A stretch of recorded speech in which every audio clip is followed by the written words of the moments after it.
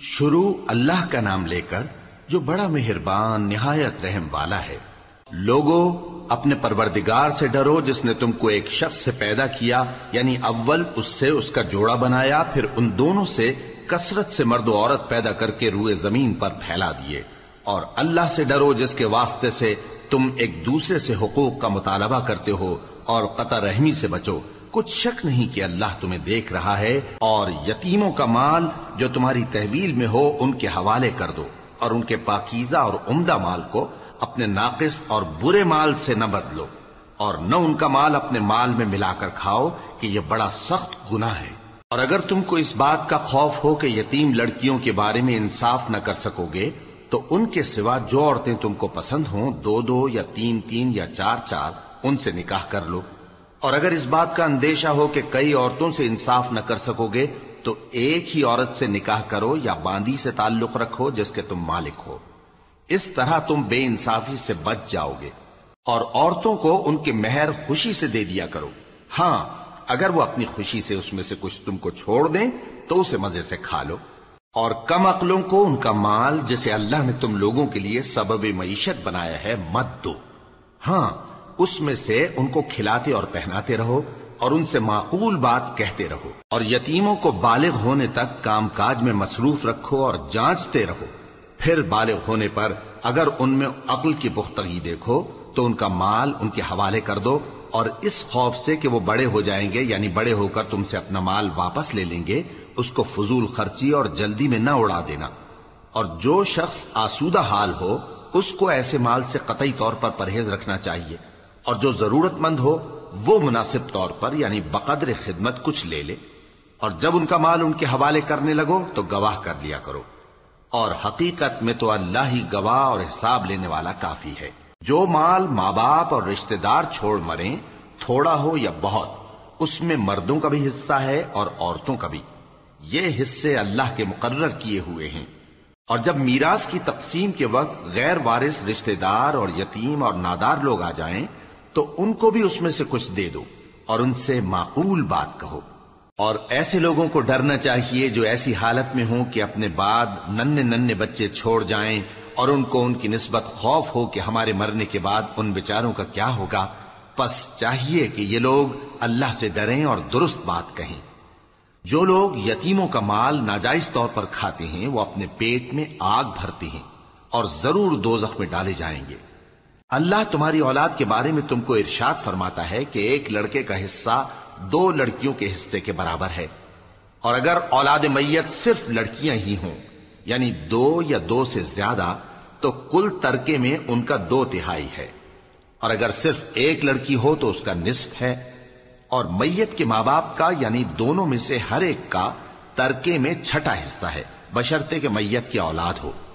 और अगर औलाद न हो और सिर्फ़ माँ बाप ही उसके वारिस हों तो एक तिहाई माँ का हिस्सा है, और अगर मैयत के भाई भी हों तो माँ का छठा हिस्सा होगा। और ये तकसीम तरका मैयत की वसीयत की तामील के बाद जो उसने की हो, या कर्ज के अदा होने के बाद जो उसके जिम्मे हो, अमल में आएगी। तुमको मालूम नहीं कि तुम्हारे बाप दादों और बेटों पोतों में से फ़ायदे के लिहाज से कौन तुमसे ज़्यादा करीब है।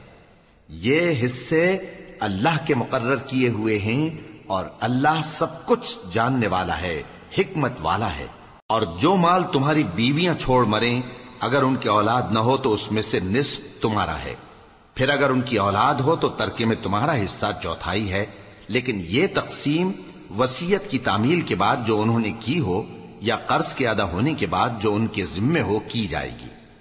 और जो माल तुम मर्द छोड़ मरो अगर तुम्हारी औलाद ना हो तो तुम्हारी बीवियों का उसमें चौथा हिस्सा है। फिर अगर तुम्हारी औलाद हो तो उनका आठवां हिस्सा है। ये हिस्से तुम्हारी वसीयत की तामील के बाद जो तुमने की हो और अदाए कर्ज के बाद तकसीम किए जाएँगे। और अगर ऐसे मर्द या औरत की मीरास हो जिसके न बाप हो, न बेटा, मगर उसके भाई या बहन हो तो उनमें से हर एक का छठा हिस्सा है। और अगर एक से ज़्यादा हो तो सब एक तिहाई में शरीक होंगे। ये हिस्से भी बाद अदाए वसीयत और कर्ज, बशर्ते कि इनसे मैयत ने किसी का नुकसान न किया हो, तकसीम किए जाएँगे। ये अल्लाह का फरमान है और अल्लाह निहायत इल्म वाला है, बुरदबार है। ये तमाम अहकाम अल्लाह की हदें हैं और जो शख्स अल्लाह और उसके पैगंबर की फर्मा बरदारी करेगा, अल्लाह उसको बहिश्तों में दाखिल करेगा। जिनमें नहरें बह रही हैं, वो उनमें हमेशा रहेंगे और ये बड़ी कामयाबी है। और जो अल्लाह और उसके रसूल की नाफरमानी करेगा और उसकी हदों से निकल जाएगा, उसको अल्लाह दोजख में डालेगा, जहाँ वो हमेशा रहेगा और उसको जिल्लत का अजाब होगा। मुसलमानों, तुम्हारी औरतों में जो बदकारी का इर्तिकाब कर बैठी, उन पर अपने लोगों में से चार शख्सों की शहादत लो। अगर वो उनकी बदकारी की गवाही दें तो उन औरतों को घरों में बंद रखो। यहाँ तक कि मौत उनका काम तमाम कर दे। या अल्लाह उनके लिए कोई और सबील पैदा करे? और जो दो मर्द तुम में से बदकारी करें तो उनको ईजा दो। फिर अगर वो तौबा कर लें और नेकुकार हो जाएँ तो उनका पीछा छोड़ दो। बेशक अल्लाह तौबा कबूल करने वाला है, मेहरबान है। अल्लाह उन्हीं लोगों की तौबा कबूल फरमाता है, जो नादानी से बुरी हरकत कर बैठते हैं, फिर जल्द तौबा कर लेती हैं। बस ऐसे लोगों पर अल्लाह तवज्जो करता है, और वो सब कुछ जानने वाला है हिकमत वाला है। और ऐसे लोगों की तौबा कबूल नहीं होती जो सारी उम्र बुरे काम करते रहें। यहाँ तक कि जब उनमें से किसी की मौत आ मौजूद हो तो उस वक्त कहने लगे कि अब मैं तौबा करता हूँ। और न उनकी तौबा कबूल होती है जो कुफर की हालत में मरे। ऐसे लोगों के लिए हमने दर्दनाक अजाब तैयार कर रखा है। मोमिनो, तुमको जायज़ नहीं कि ज़बरदस्ती औरतों के वारिस बन जाओ। और देखना, इस नीयत से कि जो कुछ तुमने उनको दिया है, उसमें से कुछ ले लो, उन्हें घरों में मत रोक रखना। हाँ, अगर वो खुले तौर पर बदकारी की मुर्तकिब हों तो और बात है। और उनके साथ अच्छी तरह से रहो सहो, फिर अगर वो तुमको नापसंद हो तो अजब नहीं कि तुम किसी चीज़ को नापसंद करो और अल्लाह उसमें बहुत सी भलाई पैदा कर दे। और अगर तुम एक औरत को छोड़कर दूसरी औरत करनी चाहो और पहली औरत को ढेर संभाल दे चुके हो तो उसमें से कुछ मत लेना। भला तुम बुहतान लगाकर और खुला गुनाह करके अपना माल उससे वापस लोगे?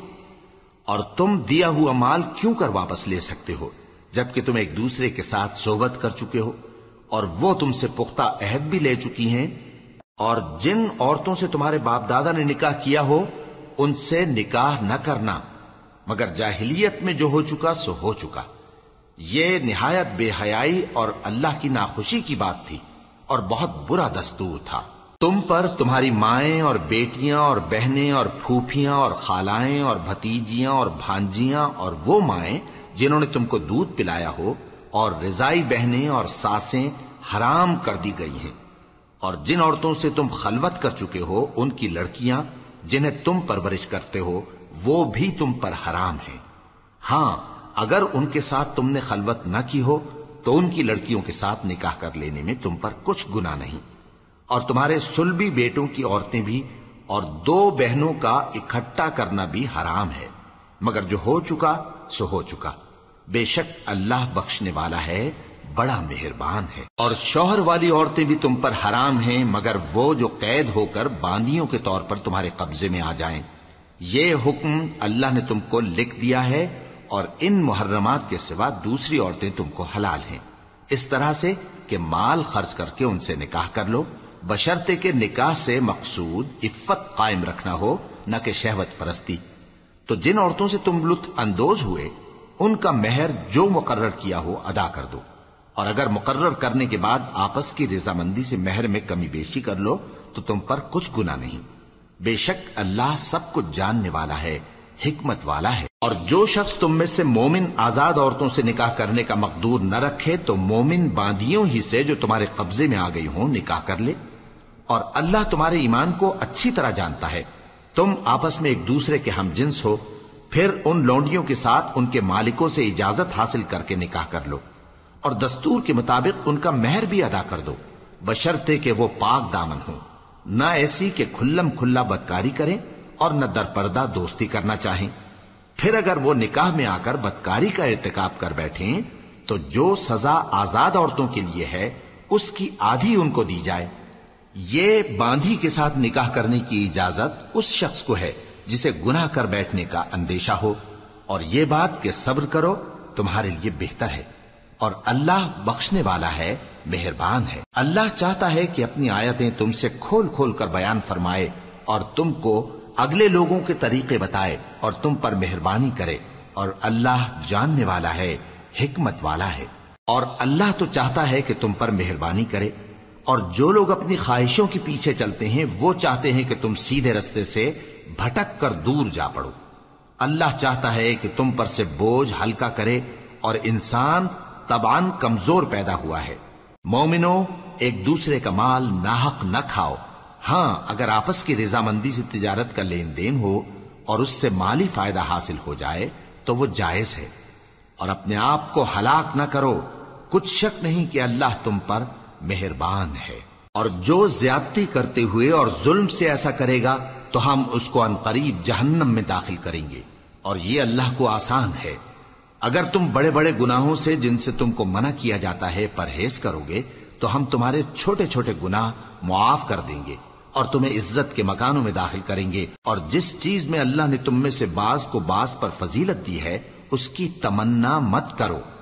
मर्दों को उन कामों का सवाब है जो उन्होंने किए, और औरतों को उन कामों का सवाब है जो उन्होंने किए।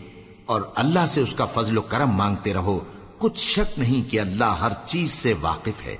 और जो माल माँ बाप और रिश्तेदार छोड़ मरे तो हकदारों में तकसीम कर दो कि हमने हर एक के हकदार मुकर्र कर दिए हैं। और जिन लोगों से तुम अहद कर चुके हो, उनको भी उनका हिस्सा दो। बेशक अल्लाह हर चीज़ पर निगरान है। मर्द औरतों पर हाकिम है। इसलिए कि अल्लाह ने बास को बास से अफजल बनाया है। और इसलिए भी कि मर्द अपना माल खर्च करते हैं। तो जो नेक बीबियाँ हैं, वो फर्मबरदार होती हैं। और उनके पीठ पीछे अल्लाह की हिफाजत में माल आबरू की खबरदारी करती हैं और जिन औरतों की नस्बत तुम्हें मालूम हो कि सरकशी और बदखुई करने लगी हैं तो पहले उनको जबानी समझाओ। अगर न समझें तो फिर उनके साथ सोना तर्क कर दो। अगर उस पर भी बाज ना आए तो जदोकोब करो। फिर अगर तुम्हारा कहना मान लें तो फिर उनको ईजा देने का कोई बहाना मत ढूंढो। बेशक अल्लाह बहुत ऊँचा है, बड़ा है। और अगर तुम लोगों को मालूम हो कि मियाँ बीवी में अनबन है तो एक मुनसिफ मर्द के खानदान में से और एक मुनसिफ औरत के खानदान में से मुकर्र करो। वो अगर सुलह करा देनी चाहेंगे तो अल्लाह उनमें मुआफिकत पैदा कर देगा। कुछ शक नहीं कि अल्लाह सब कुछ जानता है, सब बातों से खबरदार है। और अल्लाह ही की इबादत करो और उसके साथ किसी चीज़ को शरीक न बनाओ।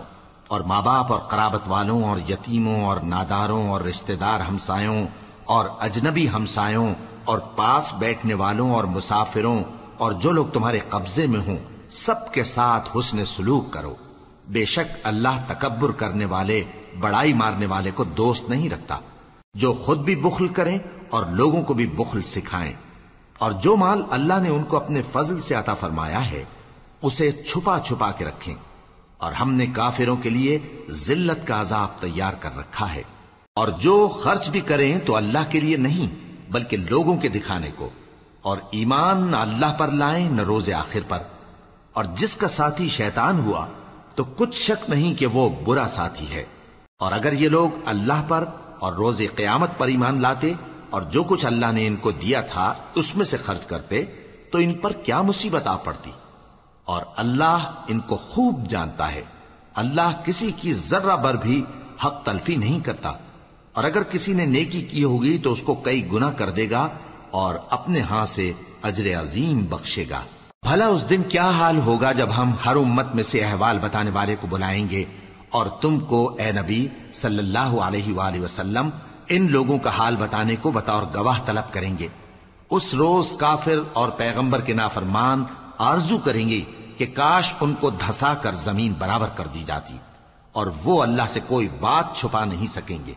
मोमिनो, जब तुम नशे की हालत में हो तो जब तक उन अल्फाज को जो मुँह से कहो, समझने न लगो, नमाज़ के पास न जाओ और जनाबत की हालत में भी नमाज़ के पास न जाओ। यहाँ तक कि गुसल कर लो। हाँ, अगर बहालत सफ़र रस्ते चले जा रहे हो और पानी न मिलने के सबब गुसल न कर सको तो तयम करके नमाज़ पढ़ लो और अगर तुम बीमार हो या सफ़र में हो या कोई तुम में से बैतुल खला से होकर आया हो या तुमने औरतों से मुकारबत की हो और तुम्हें पानी न मिले तो पाक मिट्टी लो और मुँह और हाथों का मसा करके तयम्मुम कर लो। बेशक अल्लाह मुआफ करने वाला है, बख्शने वाला है। भला तुमने उन लोगों को नहीं देखा जिनको किताब से हिस्सा दिया गया था कि वो गुमराही को खरीदते हैं और चाहते हैं कि तुम भी रस्ते से भटक जाओ। और अल्लाह तुम्हारे दुश्मनों से खूब वाकिफ है।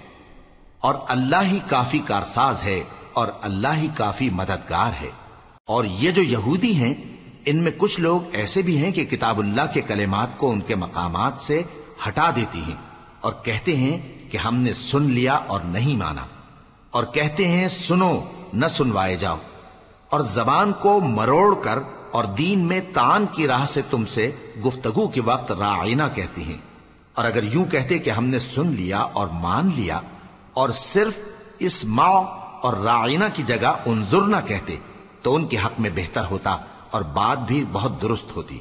लेकिन अल्लाह ने उनके कुफ्र के सबब उन पर लानत कर रखी है तो ये कुछ थोड़े ही ईमान लाती हैं। ए किताब वालों, कबल इसके कि हम कुछ चेहरों को मिटा दें और फिर उनकी पीठ की तरफ़ फेर दें या उन पर इस तरह लानत करें जिस तरह हफ़्ते वालों पर लानत की थी हमारी नाजिल फरमाई हुई किताब पर, जो तुम्हारी किताब की भी तस्दीक करती है, ईमान ले आओ। और अल्लाह ने जो हुक्म फरमाया, सो समझ लो कि हो चुका। अल्लाह इस गुना को नहीं बख्शेगा कि किसी को उसका शरीक बनाया जाए, और इसके सिवा और गुनाह जिसको चाहे मुआफ कर दे। और जिसने अल्लाह का शरीक मुकर्र किया, उसने बड़ा बोहतान बांधा। क्या तुमने उन लोगों को नहीं देखा, जो अपने आप को पाकीजा कहते हैं? नहीं। बल्कि अल्लाह ही जिसको चाहता है, पाकीजा करता है, और उन पर धागे बराबर भी जुल्म नहीं होगा। देखो, ये अल्लाह पर कैसा झूठ तूफ़ान बांधते हैं, और यही खुला गुनाह काफ़ी है। भला तुमने उन लोगों को नहीं देखा जिनको किताब से हिस्सा दिया गया है कि बुतों और शैतान को मानते हैं, और कुफ्फार के बारे में कहते हैं कि ये लोग मोमिनों की नस्बत सीधे रस्ते पर हैं।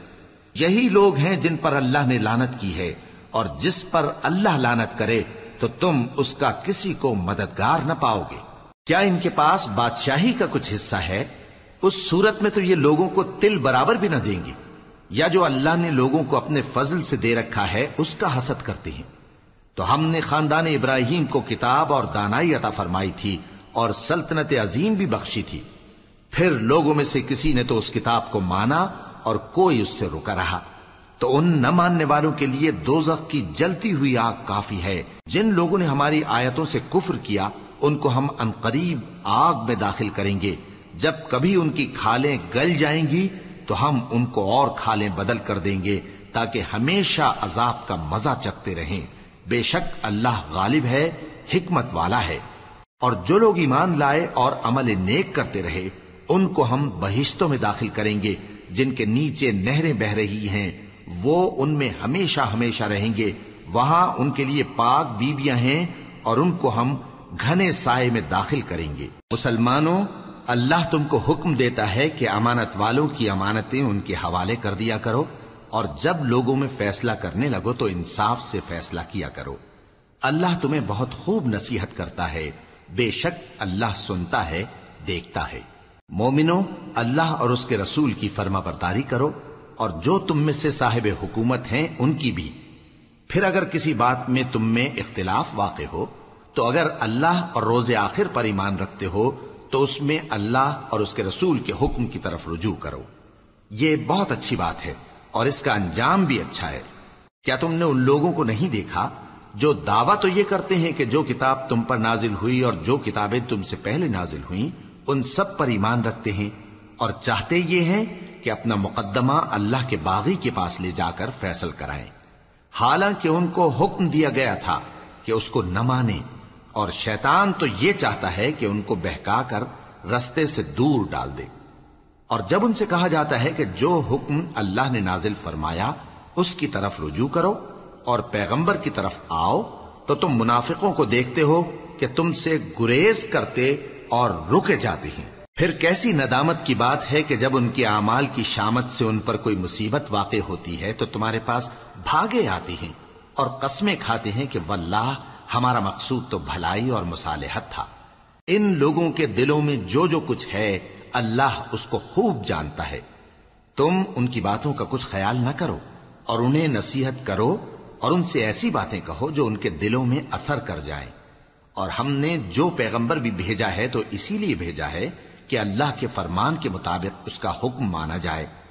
और ये लोग जब अपने हक में जुल्म कर बैठे थे, अगर तुम्हारे पास आते और अल्लाह से बख्शिश मांगते और पैगंबर भी उनके लिए बख्शिश तलब करते तो अल्लाह को मुआफ करने वाला बड़ा मेहरबान पाते। बस तुम्हारे परवरदिगार की कसम, ये लोग जब तक अपने तनाजुआत में तुम्हें मुनसिफ न बनाएँ और जो फैसला तुम कर दो, उससे अपने दिल में तंग भी ना हो, बल्कि उसको खुशी से मान लें तब तक मोमिन नहीं होंगे।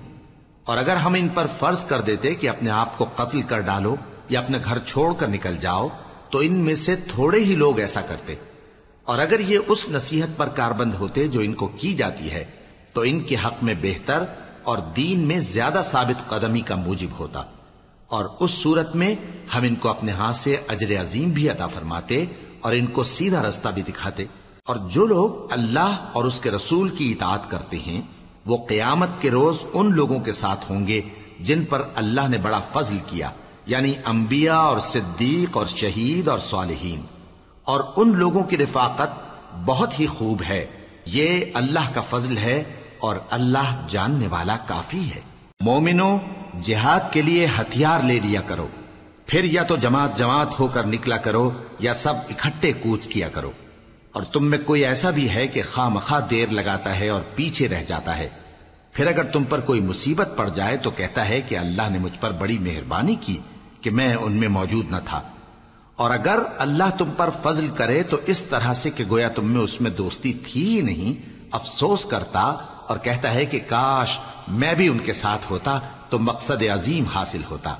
अब जो लोग आखिरत को खरीदते और उसके बदले दुनिया की ज़िंदगी को बेचना चाहते हैं उनको चाहिए कि अल्लाह की राह में जंग करें और जो शख्स अल्लाह की राह में जंग करे, फिर शहीद हो जाए या गलबा पाए, हम अनकरीब उसको बड़ा सवाब देंगे। और तुमको क्या हुआ है कि अल्लाह की राह में और उन बेबस मर्दों और औरतों और बच्चों की खातिर नहीं लड़ते जो दुआएँ किया करते हैं कि अय परवरदिगार, हमको इस शहर से, जिसके रहने वाले जालिम हैं, निकाल कर कहीं और ले जा। और अपनी तरफ़ से किसी को हमारा हामी बना और अपनी ही तरफ़ से किसी को हमारा मददगार मुकर्र फरमा। जो मोमिन हैं, वो तो अल्लाह की राह में लड़ते हैं और जो काफिर हैं, वो शैतान की राह में लड़ते हैं। सो तुम शैतान के मददगारों से लड़ो और डरो मत, क्योंकि शैतान का दाव कमज़ोर होता है। भला तुमने उन लोगों को नहीं देखा, जिनको पहले यह हुक्म दिया गया था कि अपने हाथों को जंग से रोके रहो और नमाज़ पढ़ते और जक़ात देते रहो। फिर जब उन पर जिहाद फ़र्ज़ कर दिया गया तो बाज लोग उनमें से लोगों से यूँ डरने लगे, जैसे अल्लाह से डरा करते हैं, बल्कि उससे भी ज़्यादा। और कहने लगे कि, ए अल्लाह, तूने हम पर जिहाद जल्द क्यों फ़र्ज़ कर दिया? थोड़ी मुद्दत और हमें क्यों मोहलत न दी? ए पैगंबर, इनसे कह दो कि दुनिया का फ़ायदा बहुत थोड़ा है, और बहुत अच्छी चीज़ तो परहेजगार के लिए नजात आखिरत है, और तुम पर धागे बराबर भी जुल्म नहीं किया जाएगा। ए जिहाद से डरने वालों, तुम कहीं रहो। मौत तो तुम्हें आकर रहेगी। खा मज़बूत कलों में रहो। और इन लोगों को अगर कोई फ़ायदा पहुँचता है तो कहते हैं, ये अल्लाह की तरफ़ से है। और अगर कोई मुसीबत पहुँचती है तो ए पैगंबर, तुमसे कहते हैं कि ये आपकी वजह से हमें पहुँची है। कह दो कि रंज राहत सब अल्लाह ही की तरफ़ से है। इन लोगों को क्या हो गया है कि बात भी नहीं समझ सकते? ए आदमजाद, तुझको जो फ़ायदा पहुँचे वो अल्लाह की तरफ़ से है और जो नुकसान पहुँचे वो तेरी ही शामत आमाल की वजह से है। और ए नबी, हमने तुमको लोगों की हिदायत के लिए पैगंबर बनाकर भेजा है और इस बात का अल्लाह ही गवाह काफ़ी है। जो शख्स रसूल की फर्मा बरदारी करता है तो बेशक उसने अल्लाह की फर्मा बरदारी की।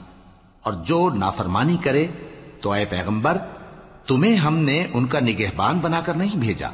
और ये लोग मुँह से तो कहते हैं कि आपकी फर्मा बरदारी दिल से मंजूर है, मगर जब तुम्हारे पास से चले जाते हैं तो इनमें से बाज लोग रात को तुम्हारी बातों के खिलाफ मशवरे करते हैं। और जो मशवरे ये करते हैं, अल्लाह उनको लिख लेता है। सो इनका कुछ ख्याल न करो और अल्लाह पर भरोसा रखो, और अल्लाह ही काफ़ी कारसाज है। भला ये कुरान में गौर क्यों नहीं करते? अगर ये अल्लाह के सिवा किसी और का कलाम होता तो इसमें वो बहुत सा इख्तिलाफ पाते। और जब इनके पास अमन या खौफ की कोई खबर पहुँचती है तो उसे मशहूर कर देती हैं। हालाँकि, अगर उसको पैगंबर और अपने जिम्मेदारों के पास पहुंचाते तो तहकीक करने वाले उसकी तहकीक कर लेते। और अगर तुम पर अल्लाह का फजल और उसकी मेहरबानी ना होती तो चंद आदमियों के सिवा तुम सब शैतान के पैरा हो जाते। सो ए पैगंबर, अल्लाह की राह में लड़ो तुम अपने सिवा किसी के जिम्मेदार नहीं हो। और मोमिनों को भी तरगीब दो। करीब है कि अल्लाह काफिरों की लड़ाई को बंद कर दे। और अल्लाह शदीद तरीन जंग करने वाला है और सजा देने के लिहाज से भी बहुत सख्त है। जो शख्स नेक बात की सिफारिश करे तो उसको उसके सवाब में से हिस्सा मिलेगा। और जो बुरी बात की सिफारिश करे, उसको उसके अजाब में से हिस्सा मिलेगा। और अल्लाह हर चीज़ पर कुदरत रखता है। और जब तुमको कोई दुआ दे तो जवाब में तुम उससे बेहतर कलेमे से उसे दुआ दो, या उन्हीं लफ्जों से दुआ दो। बेशक अल्लाह हर चीज़ का हिसाब लेने वाला है। अल्लाह वो मबूद बर हक है कि उसके सिवा कोई इबादत के लायक नहीं। वो कयामत के दिन तुम सबको ज़रूर जमा करेगा, और अल्लाह से बढ़कर बात का सच्चा कौन होगा? अब क्या सबब है कि मुसलमानों, तुम मुनाफिकों के बारे में दो गिरोह बन गए हो? हालाँकि अल्लाह ने उनको उनके करतूतों के सबब औंधा कर दिया है। क्या तुम चाहते हो कि जिस शख्स को अल्लाह ने गुमराह रहने दिया है उसको रस्ते पर ले आओ? और जिस शख्स को अल्लाह गुमराह रहने दे तुम उसके लिए कभी भी रास्ता नहीं पाओगे। वो तो ये चाहते हैं कि जिस तरह वो खुद काफिर हैं उसी तरह तुम भी काफिर होकर सब बराबर हो जाओ। तो जब तक वो अल्लाह की राह में वतन न छोड़ जाएँ, उनमें से किसी को दोस्त न बनाना। अगर तर्क वतन को कबूल न करें तो उनको पकड़ लो और जहाँ पाओ कत्ल कर दो और उनमें से किसी को अपना रफीक और मददगार न बनाओ। मगर जो लोग ऐसे लोगों से जा मिले हों जिनमें और तुम में सुलह का अहद हो या इस हाल में कि उनके दिल तुम्हारे साथ या अपनी कौम के साथ लड़ने से भिंच रहे हों तुम्हारे पास आ जाएँ, तो और बात है। और अगर अल्लाह चाहता तो उनको तुम पर गालिब कर देता तो वो तुमसे ज़रूर लड़ते। फिर अगर वो तुमसे कनारा कशी करें, यानी तुमसे न लड़ें और तुम्हारी तरफ़ सुलह का पैगाम भेजें तो अल्लाह ने तुम्हारे लिए उन पर ज़बरदस्ती करने की कोई सबील मुकर्र नहीं की। तुम कुछ और लोग ऐसे भी पाओगे, जो ये चाहते हैं कि तुमसे भी अमन में रहें और अपनी कौम से भी अमन में रहें। लेकिन जब फितना अंगेजी को बुलाए जाए तो उसमें औंधे मुँह गिर पड़े। तो ऐसे लोग अगर तुमसे लड़ने से किनारा कशी न करें और न तुम्हारी तरफ़ पैगाम सुलह भेजें और न अपने हाथों को रोकें तो उनको पकड़ लो और जहाँ पाओ कत्ल कर दो। और इन्हीं लोगों के मुकाबले में हमने तुम्हें खुली छूट दे दी। और किसी मोमिन को शाया नहीं कि दूसरे मोमिन को मार डाले, मगर गलती से ऐसा कर बैठे। और जो गलती से भी मोमिन को मार डाले तो वो एक मुसलमान गुलाम आज़ाद कर दे और मकतूल के वारिसों को खूं बहा भी दे, मगर यह कि वो माफ़ कर दें।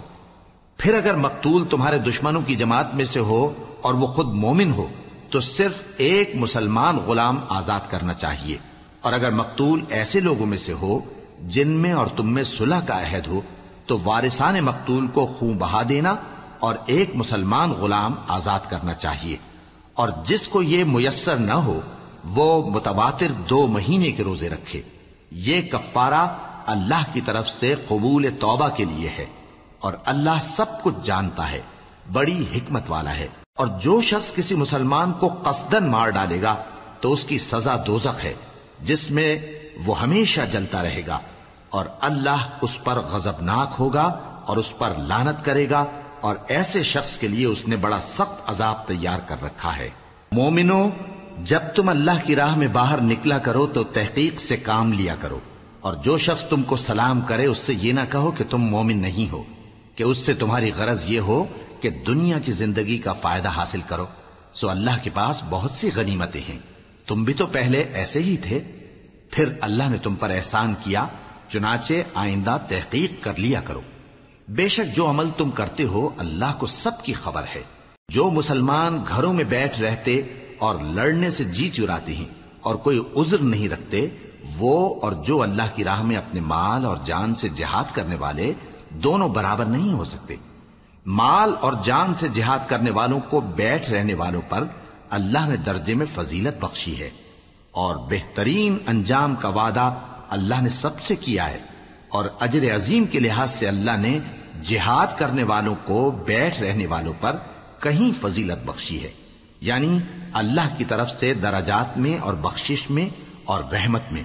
और अल्लाह बड़ा बख्शने वाला है, बड़ा मेहरबान है। जो लोग अपनी जानों पर जुल्म करते हैं, जब फरिश्ते उनकी जान कब्ज करने लगते हैं तो उनसे पूछते हैं कि तुम किस हाल में थे। वो कहते हैं कि हम मुल्क में आजिजो नातवा थे। फरिश्ते कहते हैं, क्या अल्लाह का मुल्क फराख नहीं था कि तुम उसमें हिजरत कर जाते? बस ऐसे लोगों का ठिकाना दोजख है और वो बुरी जगह है लौटने की। हाँ जो मर्द और औरतें और बच्चे बेबस हैं कि न तो कोई तदबीर कर सकते हैं और न रास्ता ही जानते हैं। तो करीब है कि अल्लाह ऐसों को मुआफ कर दे और अल्लाह बड़ा मुआफ करने वाला है, बड़ा बख्शने वाला है। और जो शख्स अल्लाह की राह में घर बार छोड़ जाए, वो ज़मीन में बहुत सी रहने की जगह और कुशाइश पाएगा। और जो शख्स अल्लाह और उसके रसूल की तरफ़ हिजरत करके घर से निकल जाए फिर उसको मौत आ पकड़े तो उसका सवाब अल्लाह के जिम्मे हो चुका। और अल्लाह बड़ा बख्शने वाला है, बड़ा मेहरबान है। और जब तुम सफ़र को जाओ तो तुम पर कुछ गुना नहीं कि नमाज़ को कम करके पढ़ो।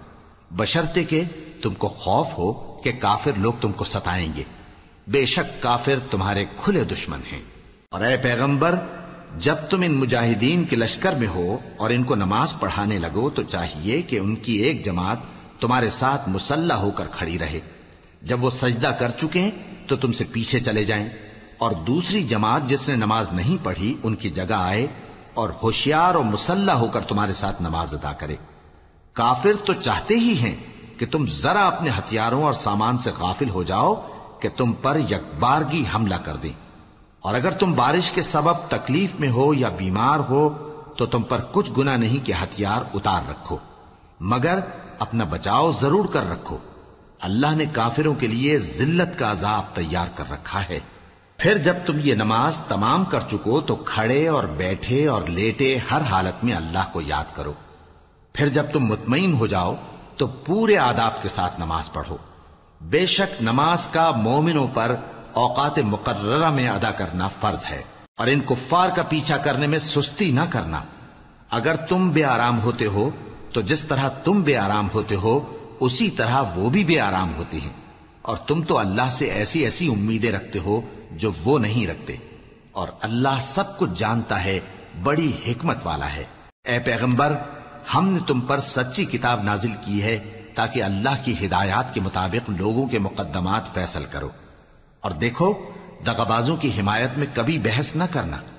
और अल्लाह से बख्शिश मांगते रहो बेशक अल्लाह बख्शने वाला है, बड़ा मेहरबान है। और जो लोग अपने हम जिनसों की खयानत करते हैं, उनकी तरफ़ से बहस न करना, क्योंकि अल्लाह दगाबाज और गुनाहगार को दोस्त नहीं रखता। ये लोगों से तो छुपते हैं, और अल्लाह से नहीं छुपते। हालाँकि जब ये रातों को ऐसी बातों के मशवरे किया करते हैं, जिनको वो पसंद नहीं करता तो वो इनके साथ हुआ करता है। और अल्लाह इनके तमाम कामों का अहाता किए हुए है। भला तुम लोग दुनिया की ज़िंदगी में तो इनकी तरफ़ से बहस कर लेते हो। सो कयामत के दिन इनकी तरफ़ से अल्लाह के साथ कौन बहस करेगा और कौन इनका वकील बनेगा? और जो शख्स कोई बुरा काम कर बैठे या अपने हक में जुल्म कर ले, फिर अल्लाह से बख्शिश मांगे तो अल्लाह को बड़ा बख्शने वाला, बड़ा मेहरबान पाएगा। और जो कोई गुनाह करता है तो उसका वबाल उसी पर है, और अल्लाह सब कुछ जानने वाला है, हिकमत वाला है। और जो शख्स कोई कसूर या गुनाह तो खुद करे, लेकिन उसका इल्ज़ाम किसी बेगुनाह पर डाल दे तो उसने बुहतान और खुले गुनाह का बोझ अपने सर पर रखा। और ए नबी, अगर तुम पर अल्लाह का फजल और उसकी मेहरबानी न होती तो इनमें से एक जमात तुमको बहकाने का कष्ट कर ही चुकी थी। और ये अपने सिवा किसी को बहका नहीं सकते, और न तुम्हारा कुछ बिगाड़ सकते हैं।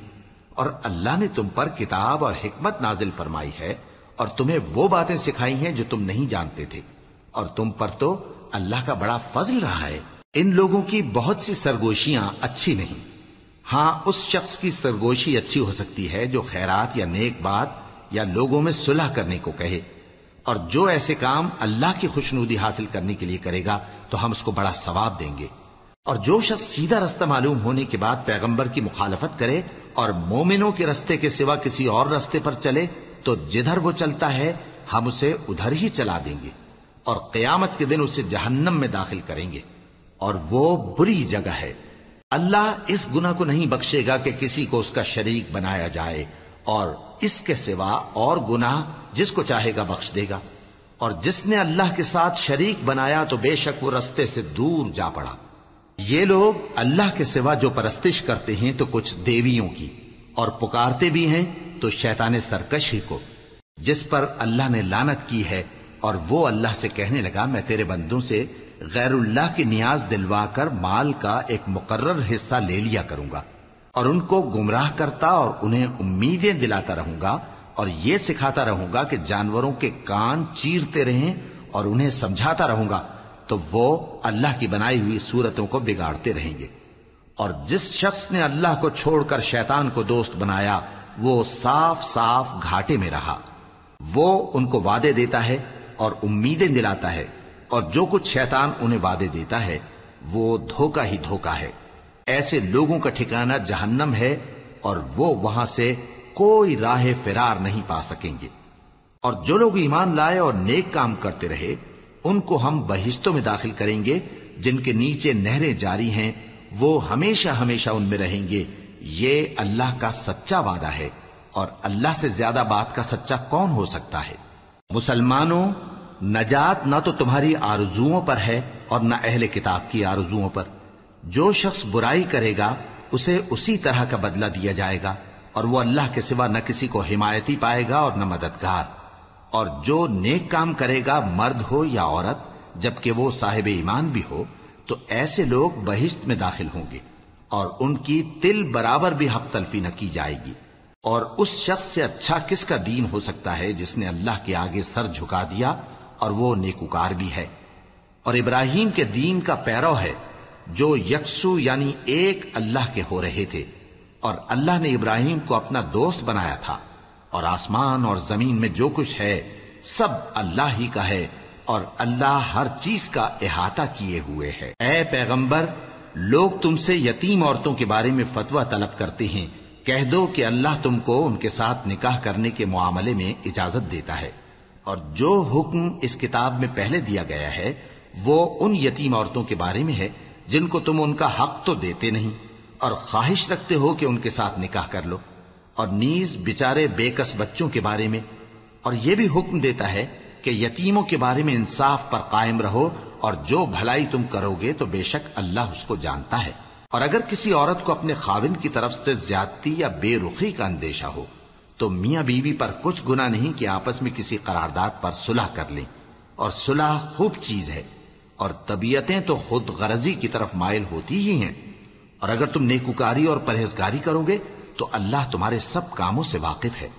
और तुम खा कितना ही चाहो बीवियों में हरगिज अदल नहीं कर सकोगे। तो ऐसा भी ना करना कि एक ही की तरफ़ ढल जाओ और दूसरी को ऐसी हालत में छोड़ दो कि गोया अधर में लटक रही है। और अगर आपस में मुसालहत कर लो और परहेजगारी करो तो अल्लाह बख्शने वाला है, बड़ा मेहरबान है। और अगर मियाँ बीवी एक दूसरे से जुदा हो जाएँ तो अल्लाह हर एक को अपनी वसत से गनी कर देगा और अल्लाह कुशाइश वाला है, हिकमत वाला है। और जो कुछ आसमानों में और जो कुछ ज़मीन में है, सब अल्लाह ही का है। और जिन लोगों को तुमसे पहले किताब दी गई थी, उनको भी और ए नबी, तुमको भी हमने हुक्म ताकीदी किया है कि अल्लाह से डरते रहो। और अगर तुम लोग कुफ्र करोगे तो समझ रखो कि जो कुछ आसमानों में और जो कुछ ज़मीन में है, सब अल्लाह ही का है। और अल्लाह बेनियाज है, लायक हमदो सना है। और फिर सुन रखो कि जो कुछ आसमानों में और जो कुछ ज़मीन में है सब अल्लाह ही का है और अल्लाह ही कारसास काफ़ी है। लोगो, अगर वो चाहे तो तुमको फना कर दे और तुम्हारी जगह और लोगों को पैदा कर दे। और अल्लाह इस बात पर पूरी तरह कादिर है। जो शख्स दुनिया ही के सवाब का तालिब हो तो उसे मालूम हो कि अल्लाह के पास दुनिया और आखिरत दोनों का सवाब मौजूद है और अल्लाह सुनता है, देखता है। ए ईमान वालो इंसाफ पर कायम रहो और अल्लाह के लिए सच्ची गवाही दो। खा ये तुम्हारे अपने खिलाफ या तुम्हारे माँ बाप और रिश्तेदारों के खिलाफ ही हो। अगर कोई अमीर है या फकीर तो अल्लाह इन दोनों का ज़्यादा खैर खा है। बस तुम ख्वाहिश नफ्स के पीछे चलकर अदल को न छोड़ देना। अगर तुम लगी लिपटी बात कहोगे या सच्चाई से पहलू तेही करोगे तो जान रखो अल्लाह तुम्हारे सब कामों से वाकिफ है। मोमिनो, अल्लाह पर और उसके रसूल पर और जो किताब उसने अपने इस पैगंबर पर नाजिल की है, और जो किताबें इससे पहले नाजिल की थीं, सब पर ईमान रखो। और जो शख्स अल्लाह और उसके फरिश्तों और उसकी किताबों और उसके पैगंबरों और रोज़े क्यामत से कुफर करे, वो रस्ते से भटक कर दूर जा पड़ा। जो लोग ईमान लाए, फिर काफिर हो गए। फिर ईमान लाए, फिर काफिर हो गए। फिर कुफर में बढ़ते गए। उनको अल्लाह न तो बख्शेगा और न उन्हें सीधा रास्ता दिखाएगा। ए पैगंबर, मुनाफिकों, यानी दो रुखे लोगों को बिशारत सुना दो कि उनके लिए दुख देने वाला अजाब तैयार है। वो जो मोमिनों को छोड़कर काफिरों को दोस्त बनाते हैं, क्या ये उनके यहाँ इज़्ज़त हासिल करनी चाहती हैं? सो इज़्ज़त तो सब अल्लाह ही की है। और अल्लाह ने तुम मोमिनों पर अपनी किताब में यह हुक्म नाजिल फरमाया है कि जब तुम कहीं सुनो कि अल्लाह की आयतों से इनकार हो रहा है और उनकी हँसी उड़ाई जा रही है तो जब तक वो लोग और बातें न करने लगे, उनके पास मत बैठो, वरना तुम भी उन्हीं जैसे शुमार होगे। कुछ शक नहीं कि अल्लाह मुनाफिकों और काफिरों सबको दोजख में इकट्ठा करने वाला है। जो तुमको देखते रहते हैं, फिर अगर अल्लाह की तरफ़ से तुमको फतह मिले तो कहते हैं, क्या हम तुम्हारे साथ न थे? और अगर काफिरों को फतह नसीब हो तो उनसे कहते हैं कि, क्या हम तुम पर गालिब नहीं थे? और तुमको मुसलमानों के हाथ से बचाया नहीं? अब अल्लाह तुम सब में कयामत के दिन फैसला कर देगा और अल्लाह काफिरों को मोमिनों पर हरगिज गलबा नहीं देगा। मुनाफिक इन चालों से अपने नज़दीक अल्लाह को धोखा देती हैं ये उसको क्या धोखा देंगे? वो इन्हीं को धोखे में डालने वाला है और जब ये नमाज़ को खड़े होते हैं तो सुस्त और काहिल होकर सिर्फ़ लोगों के दिखाने को और अल्लाह को याद ही नहीं करते मगर बहुत कम। डावा डोल हो रही है। ना उनकी तरफ़ होते हैं, ना इनकी तरफ़। और जिसको अल्लाह भटकाए तो तुम उसके लिए कभी भी रास्ता ना पाओगे। ए अहले ईमान, मोमिनों के सिवा काफिरों को दोस्त न बनाओ। क्या तुम चाहते हो कि अपने ऊपर अल्लाह का सरी इल्ज़ाम लो? कुछ शक नहीं कि मुनाफिक लोग दोजक के सबसे निचले दर्जे में होंगे, और तुम उनका किसी को मददगार न पाओगे। हाँ, जिन्होंने तौबा की और अपनी हालत को दुरुस्त कर लिया, और अल्लाह की रस्सी को मज़बूत पकड़ लिया और खालिस अल्लाह के हुक्म बरदार हो गए। तो ऐसे लोग मोमिनों के साथ होंगे और अल्लाह अनकरीब मोमिनों को बड़ा सवाब देगा। अगर तुम लोग अल्लाह के शुक्रगुजार हो और उस पर ईमान ले आओ तो अल्लाह तुमको अजाब देकर क्या करेगा? और अल्लाह तो कदर शनास है, दाना है। अल्लाह इस बात को पसंद नहीं फरमाता कि कोई किसी को आलानिया बुरा कहे, मगर वो जो मजलूम हो। और अल्लाह सब कुछ सुनता है, जानता है। अगर तुम लोग भलाई खुल्लम खुल्ला करोगे या छुपाकर या बुराई से दरगुजर करोगे तो अल्लाह भी मुआफ करने वाला है, साहिब कुदरत है। जो लोग अल्लाह से और उसके पैगंबरों से कुफर करते हैं और अल्लाह और उसके पैगंबरों में फ़र्क करना चाहते हैं और कहते हैं कि हम बास को मानते हैं और बास को नहीं मानते, और ईमान और कुफर के बीच में एक राह निकालनी चाहते हैं, वो यकीनन काफिर हैं और काफिरों के लिए हमने जिल्लत का अजाब तैयार कर रखा है। और जो लोग अल्लाह और उसके पैगंबरों पर ईमान लाए और उनमें से किसी में फ़र्क न किया, यानी सबको माना, ऐसे लोगों को वो करीब उनकी नेकियों के सिले अता फरमाएगा और अल्लाह बख्शने वाला है, बड़ा मेहरबान है। ए पैगंबर, अहले किताब तुमसे दरखास्त करते हैं कि तुम उन पर एक लिखी हुई किताब आसमान से उतार लाओ।